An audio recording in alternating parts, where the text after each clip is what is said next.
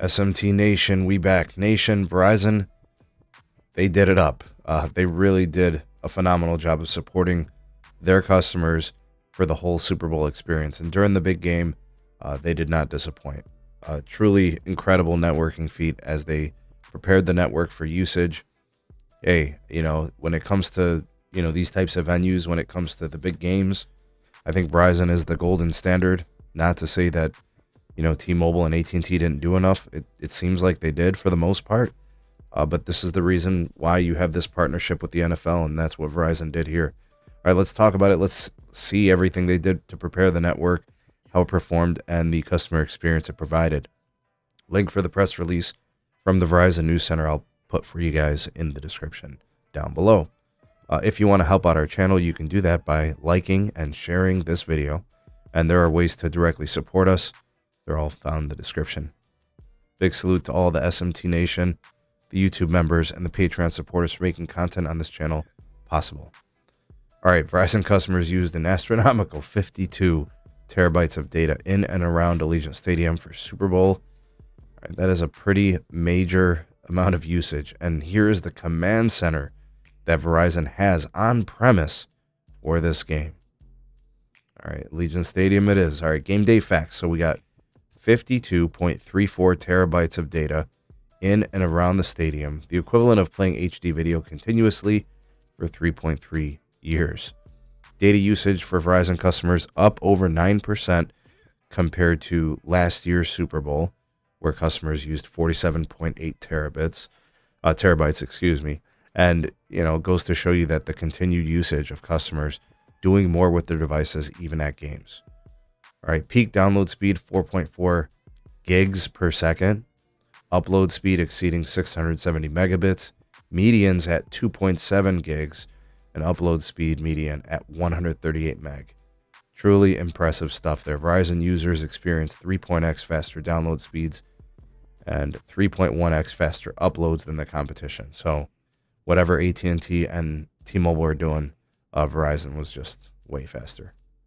50 almost well, I guess it rounds up to 51% of the attendees of the game using the Verizon network.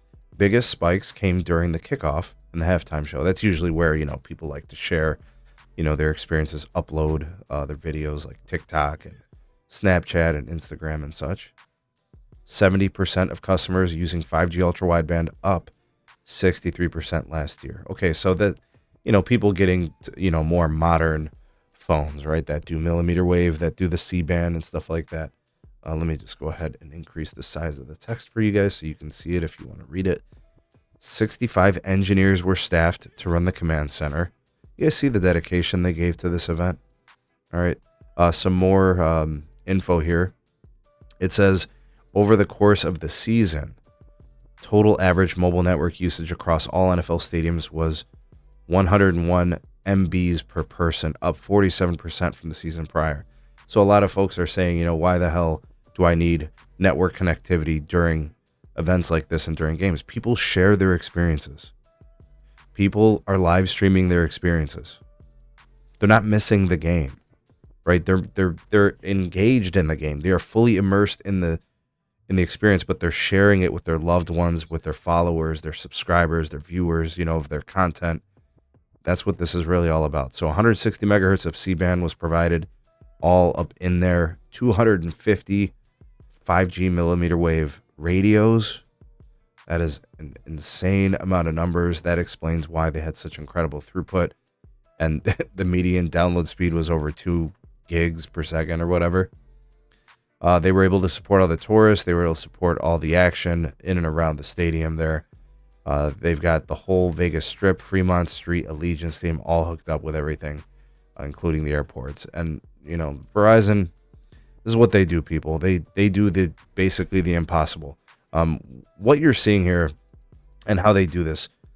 I don't, I don't know if you guys caught this here within it. I think it was in this paragraph. 547 miles of fiber. Do you do you see what it takes to do this? 250 millimeter wave nodes, DAS systems, CRAN, small cells, macros in the area, like millimeter wave. It this is what it takes to do this. Now, like I said in the very beginning, I'm not saying T-Mobile wasn't able to support their customers. I'm sure they did just fine. I didn't see anybody complaining about it, you know, anywhere.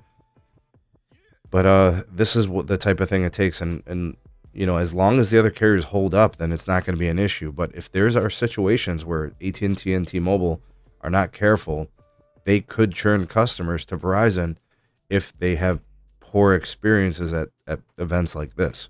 That's kind of what I, I think Verizon is doing here. They use this as obviously advertising opportunities. This is part of their branding now, right? Network excellence, having the most capacitive network at these major venues. Uh, but really, also, they get to showcase what they can do, and then customers see it, hear about it, know about it. They might even switch to it. All right. Just some things to consider. What do you guys think of the performance from Verizon? What do you think of that dedication to that networking? Sound off in the comment section below. While the voice of the people, the SMT Nation, let your voice be heard.